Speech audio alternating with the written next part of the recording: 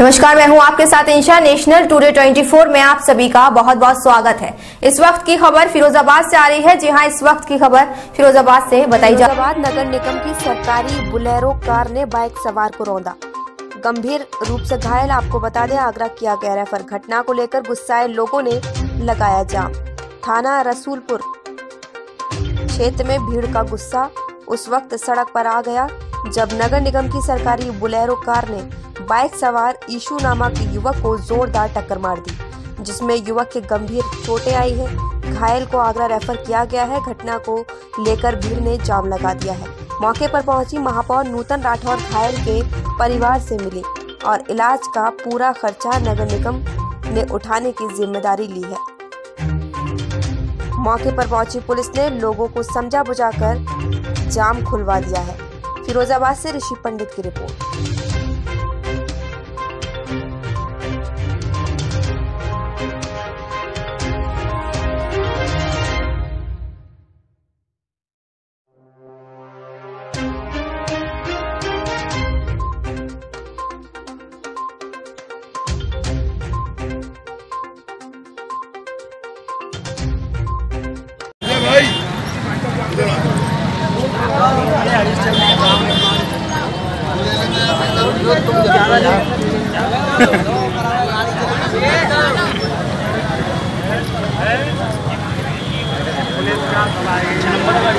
पीछे होगा देखो।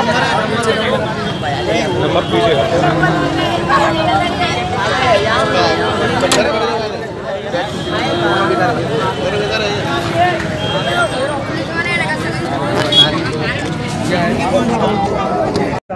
किस तरह? देखिए, सबसे पहले तो काफ़ी दुख के साथ मुझे अच्छा नहीं लग रहा है, क्योंकि आसपाबाद चौराहे पर हमारे नगर निगम की बोलेरो गाड़ी है, जिससे ये एक्सीडेंट हुआ है। जैसा कि मुझे सूचना प्राप्त हुई फ़ोन से, मैं तत्काल यहाँ पर आई हूँ, जो ट्रामा सेंटर का इमरजेंसी है।